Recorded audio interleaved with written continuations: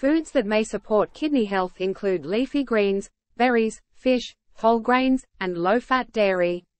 It's crucial to limit salt, processed foods, and excessive protein intake. Consult a healthcare professional for personalized advice. Remember to moderate your intake of high potassium foods, limit sodium, and stay hydrated.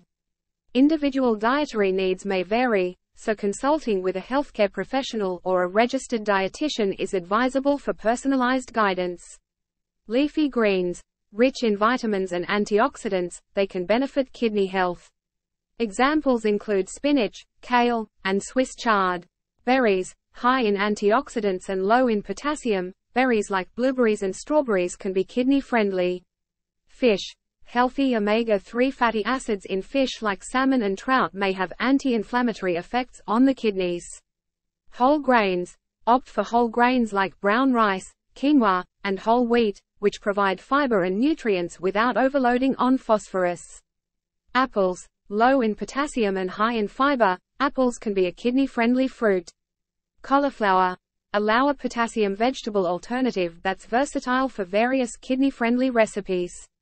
Red bell peppers, rich in vitamins A, C, and B6, they are a low potassium choice.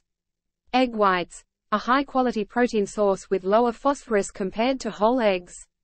Garlic, can add flavor without adding extra sodium, which is beneficial for kidney health.